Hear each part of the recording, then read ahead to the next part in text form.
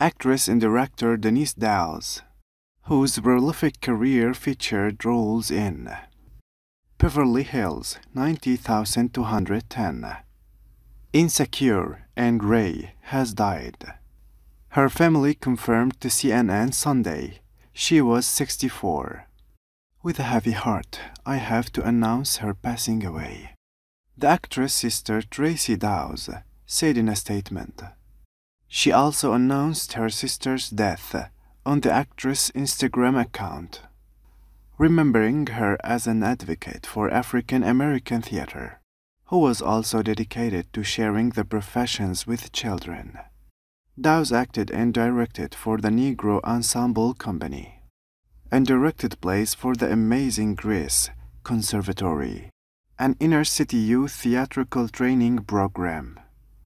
Dowse was well known for her role as Mrs. Yvonne Teasley in the hit series Beverly Hills 90210 and recently appeared in the HBO comedy series Insecure as Molly Carter's Yvonne Orji, therapist. In addition to acting roles in dozens of movies and TV series, Dowse also directed film, including Remember Me, the Mahalia Jackson story, which premiered in April at the Pan African Film Festival. I'm so proud to have been her sister, Tracy Dowse told CNN. She lit up the stage and screen.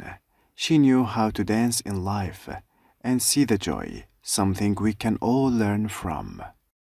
Denise Dowse as Lorraine Sames in Grey's Anatomy, alongside Kevin McKidd as Dr. Owen Hunt. Jesse Williams as Dr. Jackson Avery, and Greg Germann as Dr. Thomas Koracick.